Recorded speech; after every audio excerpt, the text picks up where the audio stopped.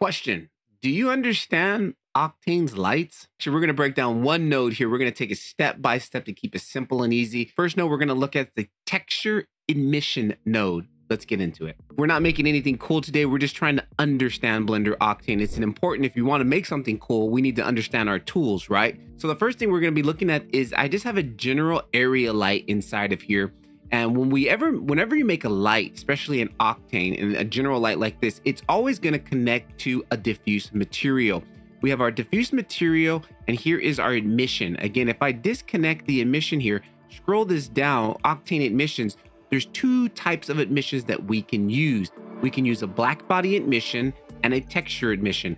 Black body emission uses the Kelvin scale, which is a real world scale of the intensity of color of light. And then you have a texture emission, which is just your general texture. You can make it any color you want, right? For the sake of this, I'm just gonna just keep it simple. We're gonna go first to the texture emission. So this is the node that we're going to break down. We're going to look at pretty much everything on this and the best source to go to is the instruction manual. And unfortunately, the instruction manual is not the best, but it's it, it's going to help us, right? So we look at it, we get in this first section here. We have our emission out, which we shot out. I just showed you that, which goes into the emission of the diffuse. Now we have this one right here called texture. And a lot of people will think this is where you'll plug in a texture map if you wanted to use it for something, right? If we go into texture here, it says the texture node. I'm gonna actually kill the camera for a minute here because I'm gonna fire up the render, okay, guys? It says here a texture node emission allows a valid texture node to set the light intensity. You can use it to create interesting effects, a TV screen, or by using an image texture. But if we scroll down here also, take a look at this. Texture emission parameters, texture, sets the light source efficiency. You can use this value or texture, okay? So we can use it as two different ways. We can use it one as an actual texture for like a gobo or something like that, and as a value. And this is what typically I think it gets used a lot more for a value. We look here, keep in mind, real world lights aren't 100% efficient at delivering power to their specific wattage, 100 watts. Light bulbs don't deliver 100 watts of light, okay? This parameter enters the real world value. So what they're saying here is when you have a light bulb, you get a 150 watt light bulb, it's not a true 150 watts, right? It's not putting out pure 100% of that. There is, because of energy and the way energy expands, you're not getting 100%. So this value is what is basically representing. So if I jump back over here and I'll quickly show you something, you notice it's a color value here.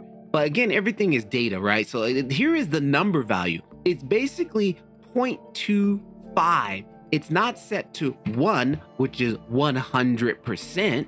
It's actually at 0.25. And so I don't know how they came up with this value, but that's all science stuff that I'm not going to get into but here is the value. So let's fire up the render and see what that does to our light here. So here is our light when it comes in default, and this is pretty much the value 100%. Again, if we go to power quickly, the light source wattage. Use to set each light to its real world wattage. For example, set a desk lamp to 25 watts, okay, desk lamp, a ceiling light to 100 watts, or an LED to 0.25 watts for an LED, right? Super small. We can't even see it here. We'll have to make it smaller. But let's go back to 100. So efficiency. Now if we go back up here to our efficiency, 0.25 value of this 100%. If we click this back to 1, now look at it. It's just completely blasting and over bright. This is true 100 watts at 100% power efficiency, which doesn't exist in the real world, right? So this value again here was at 0.25. This is basically, I don't know how they come up with it, like some science jibber jabber math stuff, right? Now, what we're gonna do let's go ahead and put in a texture inside of this and see what happens. All right, so now I just grabbed in a, a noise texture here and I'm gonna grab this noise texture and just plug it into the texture, texture out into texture. and Let's see what it does.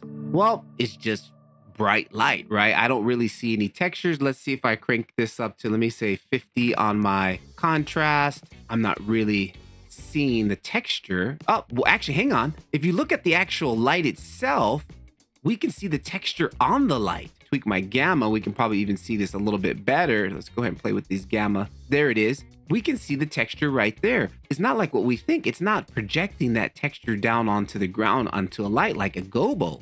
Again, like if you wanted this to be more like a TV screen or something, this is where we could possibly put in maybe an image. Let's try that. All right, so I quickly just grabbed an image and I'm gonna throw this image in here. Let's fire up the render and see what we see. Well, we don't really see too much happening at the moment here. Let me get a better view. Well, actually, I can faintly see the image. And let's see if we come to the power of the light and go to zero. And let's take the power of the light down 0.1. Well, there it is. We can just use the power of the light of the emission, right? Again, like they said, if it was something like an LED, it will be 0.25. So that will be like 0.25 right there, okay? Maybe we wanted to do something a little bit more like 10 watts.